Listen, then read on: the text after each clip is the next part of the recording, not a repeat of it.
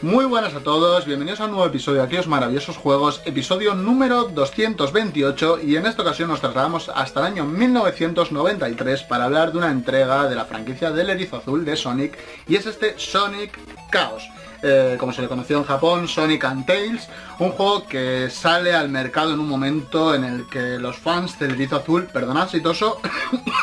que va a pasar mucho, eh, que todavía sigo malito. Lo dicho, eh, se lanza en un momento en el que los fans del Erizo Azul eh, están esperando quizá la tercera entrega, ¿no? Después del éxito que había cosechado la primera y la segunda entrega en Sega Mega Drive. Y bueno, pues es un tanto curioso que, los desarrolladores, Sega en cuestión, eh, se acordara de la consola pequeña, de la consola de la generación anterior, de Master System, y lanzaran en exclusiva este título, tanto para Master System como Game Gear, las dos consolas de,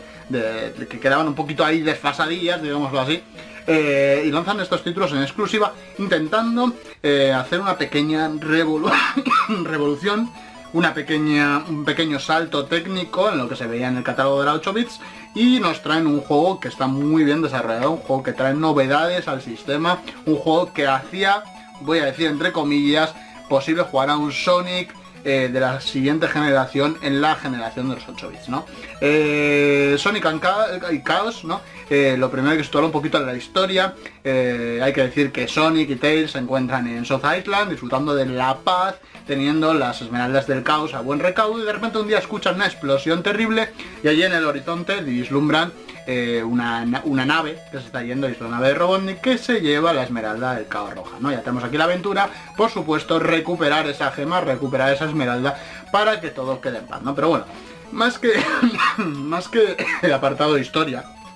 lo que hay que hablar en este, en este título es qué supuso qué supuso para, Master System, por supuesto, qué supuso para su catálogo y qué supuso para la franquicia, ¿no? Técnicamente hablamos de un juego que está muy bien logrado, ¿no? Eh, el equipo desarrollador, como bien os he dicho, intentó trasladar la experiencia, la velocidad, eh,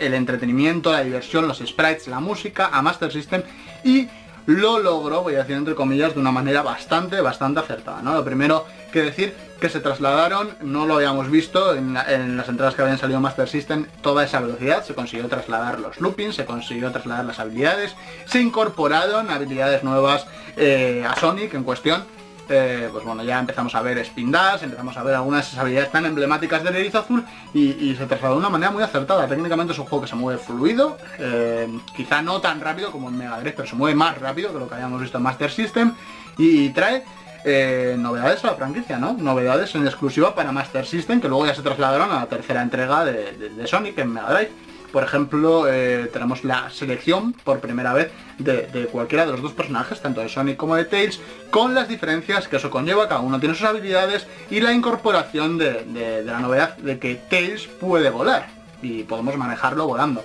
Esto da mucha diversidad a los escenarios, da muchas maneras de afrontar los escenarios, ya que al poder volar, pues bueno, sí que es verdad que quizá no estaba muy bien medido y restaba bastante dificultad al título. Lo que Sega planteó fue que en función de la elección de personajes que hiciéramos, eh, tanto Sonic como Tails, pues bueno, íbamos a afrontar el juego en una dificultad eh, mayor o menor, ¿no? Es un juego que, es bastante fácil. Yo siempre lo he recomendado para alguien que no haya jugado a Sonic, es que queda alguien en la faz de la Tierra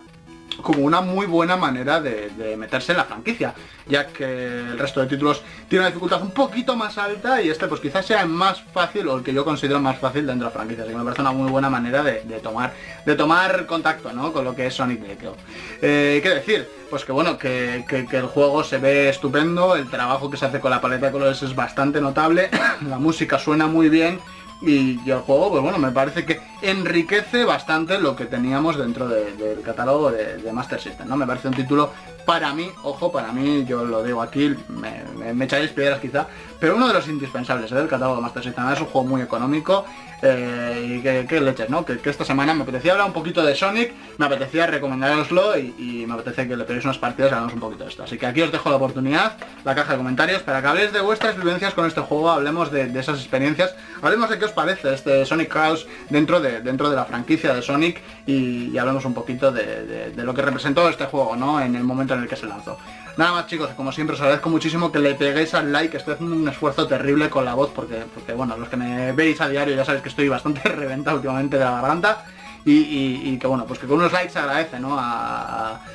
que mi vídeo se vea un poquito más, a que suba las tablas de YouTube, que los que podáis lo retuiteéis o lo, o lo compartéis en las redes sociales y que cualquier cosita estamos en contacto. Nada más chicos, nos vemos muy pronto en el siguiente vídeo. Hasta la próxima, bye bye.